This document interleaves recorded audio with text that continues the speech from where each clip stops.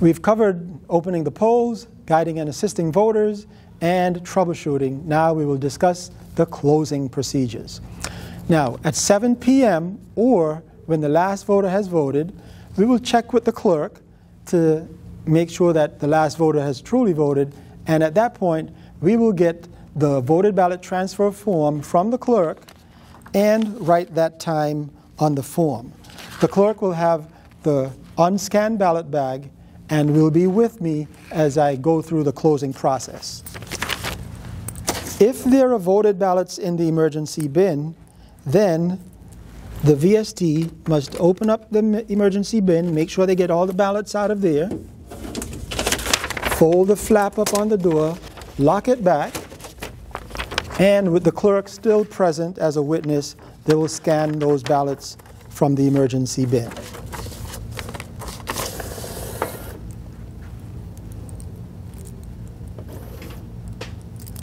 Once all ballots are scanned from the emergency bin, then we will begin the actual closing procedure where we will open up the compartment and push and release the close polls button. The screen will change and we will touch close polls and we will do the same thing on the remaining DS200s.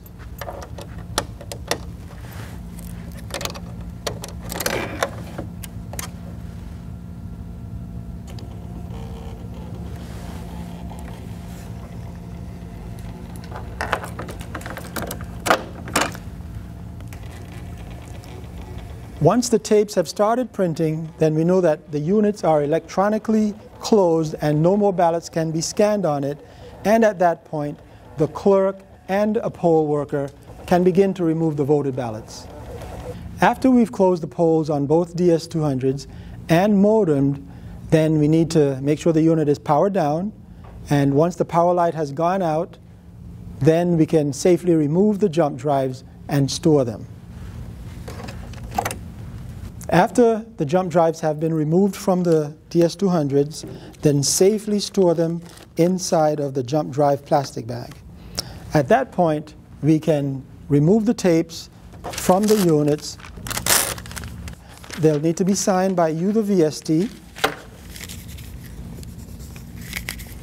and then the tapes will be given to the clerk. After the blue jump drives from the DS200 have been secured, then the clerk and another poll worker will begin to remove the voted ballots, and the VST will then begin closing procedures on the express vote. The first thing to do is to unlock the left compartment side, flip the power switch to off, and when the express vote is completely powered down, then we will remove the orange jump drive. So at this point, that now that we've pulled the orange jump drive, it goes in the same bag with the blue jump drives from the DS200. And we can begin the final packing of the VSD media bag. If your bag contains a red pouch, this red pouch will need to come out and be given to the clerk after you've packed the bag completely. The zero tape plastic bag will need to be filled with the copy of the one zero tape that was placed next to the sample wall ballot. So you will remove that, place it in the zero tape bag, and that's also going to be given to the clerk. At this point, you have your jump drive bag. There will be a label on the bag that you need to complete and sign. The clerk will then be called over to verify the items that are in the bag and then the clerk will also sign this bag. Once the clerk has signed the bag, then the jump drive bag will be inserted inside of the media bag with the VST's keys, and the inventory report sheet should already be there. At this point, the bag will be zipped and sealed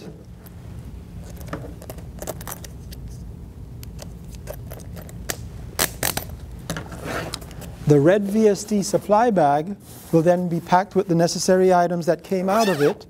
You will then store it in main bin number one for the clerk to lock up with other supplies. After the VSD media bag has been packed and sealed, The clerk will have the supplies that they got from you, and then you will leave to go drop off the VSD media bag at the Lauderhill Training Center at the east side entrance of the mall where you will drop this off and receive your paycheck. The express vote unit must be disassembled before leaving the precinct.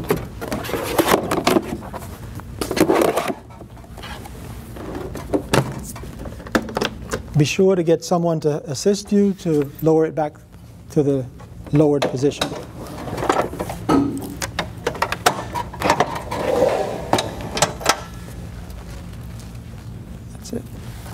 The DS200 should be closed at the top.